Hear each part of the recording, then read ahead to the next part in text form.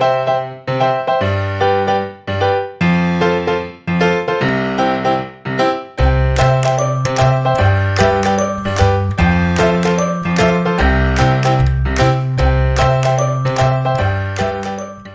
Hello everyone, welcome to another episode of GadMode and here we'll show how to find out the best selling price of a second-hand vehicle even if you want to buy it or sell it. For this you have to go to the Google App Store and search for the OBV app so this is basically a platform that helps in determining the fair market value of any used vehicle.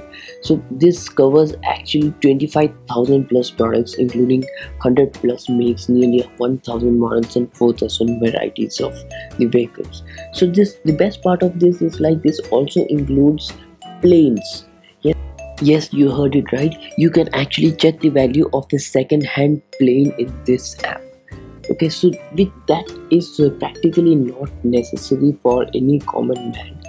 But what people really look out for here is evaluation of used scooters cars bikes and mm, many other vehicles like that. So this is actually built on the Droom's proprietary technology platform and it uses real-time data science which analyzes the empirical evidences in order to find the final result so technically speaking this is something advanced and um, this will definitely give you the right data.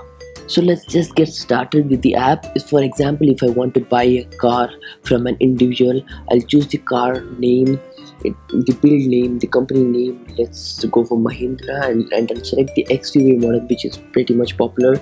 And i'll choose a build around the mid 2014 and then I'll choose the high-end variant and the kilometers driven. So this is something which is peculiar in means which is most important factor in calculating the price. And here we are.